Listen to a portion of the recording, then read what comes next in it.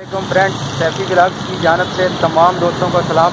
तो फ्रेंड्स मैं आज यहाँ पे आपको बताऊँगा कि ऊँटनी का दूध मैं यहाँ पे लेने आया हूँ। और ऊँटनी के दूध के थोड़े से फ़ायदे बताऊँगा।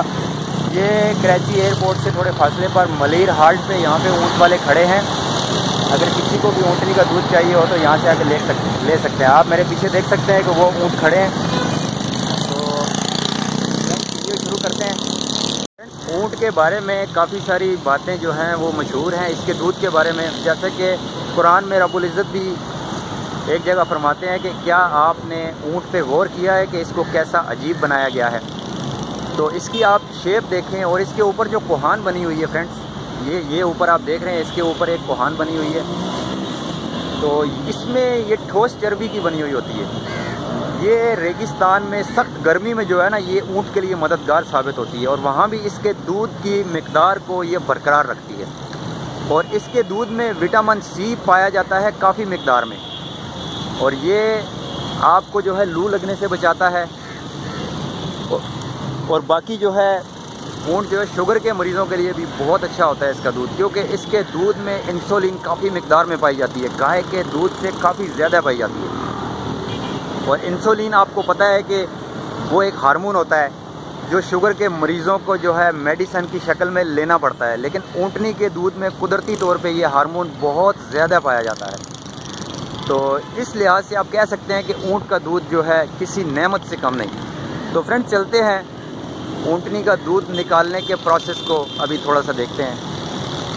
देखें तो ये थोड़े से बड़े हैं और वो जो है बहुत ही छोटे बच्चे हैं। मैं आपको फ्रेंड्स अगर बच्चे दिखाऊँ, करीब जाके। ये देखिए, छोटे बच्चे खड़े हैं यहाँ पे। तो इसके बाद हम आपको जो है प्रोसेस दिखाते हैं।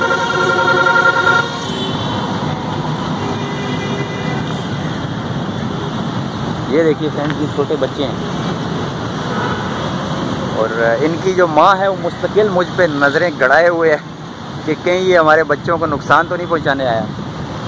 स्टिल मेरी तरफ़ वो देख रही है खड़ी होके। और मुझे थोड़ा सा डर भी लग रहा है, हकीकत बताऊँ। ये देखिए। ये थोड़ा सा बड़ा है और वो दूसरे जो हैं वो बच्चे हैं। ये देखिए फ्रेंड हाँ भाई। ये तकरीबन रोज़ाना कितने लोग यहाँ से आपसे दूध लेके जाते हैं? यहाँ से हमारे तो पता नहीं कितने से दूध लेके जाते हैं। आठ किलो दस किलो? जी जी इतना ले जाते इतना दूध? चले मुझे भी थोड़ा सा दूध निकाल के दें। तो फ्रेंड्स ये नुकसान तो नहीं पहुँच जाएगा पास जाने से? दूध निकालने के प्रोसेस को देखते हैं फ्रेंड्स कैसे दूध निकालते हैं ये। और इसका दूध फ्रेंड्स इसके बारे में मशहूर है कि अगर आप इसके दूध को खुला एक घंटे के लिए रखेंगे तो ये ख़राब हो जाता है। उसके बाद इसमें कीड़े पड़ जाते हैं। तो बेहतर यही है कि उसको आप धोने के फ़ौर बाद या तो कच्चा पी लें या इसको पका के पी लें।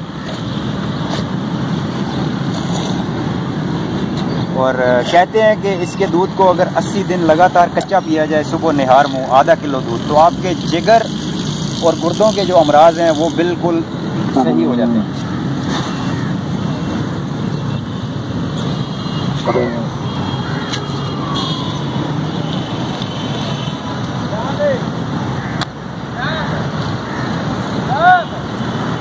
ये कह रही है कि पहले इसके बच्चों को दूध पिलाया जाए।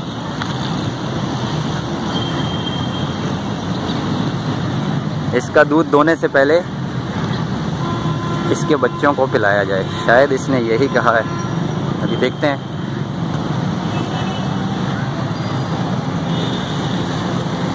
जी फ्रेंड्स, इस बेज़बान ने अपना एक कहा है और वही हमें करना पड़ा। क्योंकि ये ज़रूरी है, ये देखिए, इसका बच्चा जो है दूध पी रहा है। क्योंकि इसके बच्चे के दूध पीने के बाद फिर हम दूध दोहेंगे।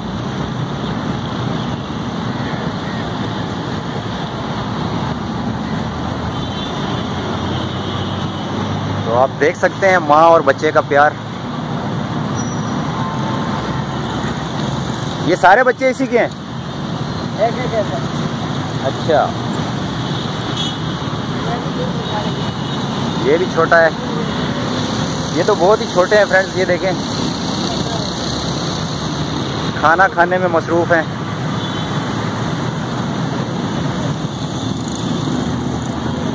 तो ये जनाब अभी दूध पी रहे हैं, इसके बाद फिर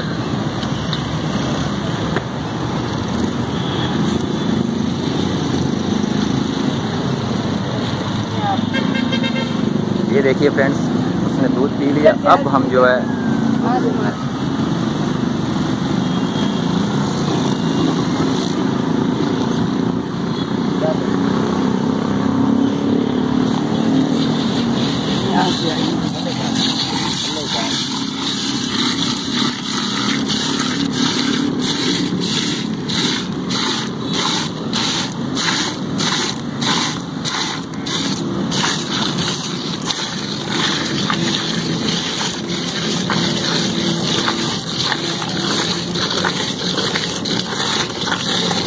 फ्रेंड्स देखिए, इसका दूध जो है, गाय और भैंस के दूध से काफ़ी ज़्यादा वाइट होता है।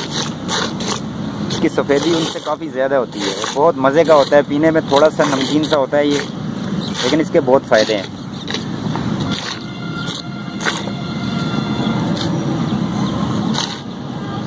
और ये कच्चा पीने के भी बहुत ज़्यादा फ़ायदे हैं।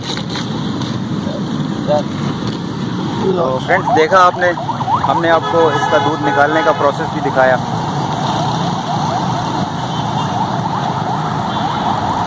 तो वीडियो कैसी लगी ज़रूर बताइएगा। मेरे चैनल को ज़रूर सब्सक्राइब कीजिएगा और मेरी वीडियो को लाइक, शेयर और कमेंट ज़रूर कीजिएगा। तो मिलते हैं किसी और ऐसी ही वीडियो में। तब तक के लिए दीजिए सैफी राजपूत को इजाज़त। खुदा हाफिज़।